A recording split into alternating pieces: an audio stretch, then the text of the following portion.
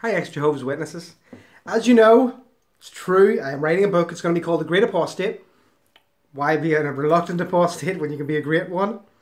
It's going to be very cheap and very funny, and you're going to love it and say nice things about it and review it in good ways and hopefully send my family on holiday next year. So, in order to, uh, to give you some fun, I thought I'd read you another little excerpt from it, uh, and it's called Shunning for Fun. I have been shunned and ignored by almost every single person I have ever known. All the people I called brother and sister, all the people that as a child you called auntie and uncle, even although even though they weren't really related, but our families were simply that close, uh, they all shunned me. Being shunned is not usually much fun. It's embarrassing and cruel and makes you look and feel like a dick in public, unless you don't let yourself be shunned. Most former Jehovah's Witnesses have no idea that, like the tango, shunning takes two.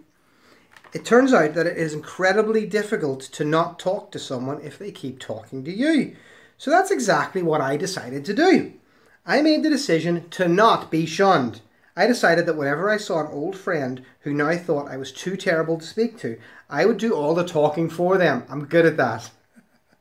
I have walked up to former friends as they sat in doctors' offices or stood beside those tacky little information cards that they have nowadays but the most fun I've had with shunning was one day in the local supermarket.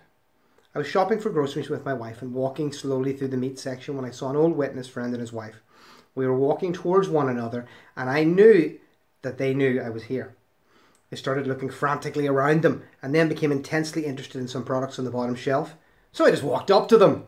Hi, David. Hi, Mary. What you doing down there? I asked cheerfully. Hello, Neil, replied David. At this point, Mary was literally dragging him away. But if one thing in life is true, it is this. When you see someone you know in a supermarket, you will see them again and again in every aisle. We met again beside the baked beans. So, how's it going? I said with a smile on my face.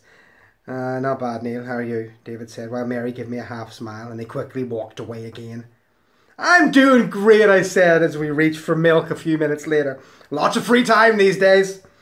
It soon became obvious to them that shunning is a two way street and in a supermarket, all streets lead to me and my constant chatter.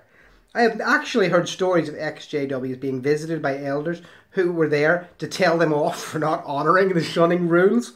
Needless to say, my vocal elders have never bothered to visit me, but they do walk away a little faster when they see me coming.